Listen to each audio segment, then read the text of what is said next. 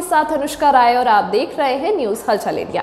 बागली विधायक पहाड़ सिंह कन्नौजी ग्राम पंचायत पोटला 20 लाख रुपए की लागत से निर्मित पंचायत भवन का भूमि पूजन किया गया। इस मौके पर उन्होंने ग्रामीणों को सरकार द्वारा संचालित योजनाओं की जानकारी दी। पोटला गाँव में आयोजित हुए भूमि पूजन कार्यक्रम में विधायक पहाड़ सिंह कन्नौजे ने कहा कि जन कल्याणकारी योजनाओं के लिए सरकार संघर्षशील है।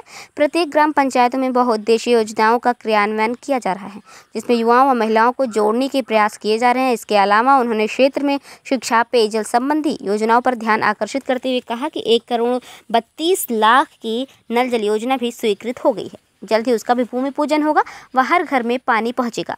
तथा ग्रामीणों ने अपनी समस्या बताते हुए बताया कि हमारे खेत में मेड़ बंधन, राशन की पर्ची, राशन कार्ड, वृद्धा पेंशन योजना आदि की समस्या रखी। वहीं बागली विधायक द्वारा पंचायत सचिव को लताड़ लगाते हुए कहा कि ग्रामीणों की समस्या पंचायत स्तर की है व इनकी समस्या जल्द से जल्द हल होना चाहिए। इस मौके पर विधायक प्रतिनिधि भरत जी राठौर जाम सिंह जी रावत हीरालाल जी दांगी, रूपेश जायसवाल, जगदीश विश्वकर्मा, लोकेश जी जैन, सुरेश जी शर्मा, बुदन नेता, दिनेश जी गुप्ता, अजय जी पवार व पार्टी के सभी कार्यकर्ता बड़ी संख्या में उपस्थित थे। संचालन दुर्गा प्रसाद कुशवाहा ने किया व आभार सरपंच माल सिंह पटेल ने माना।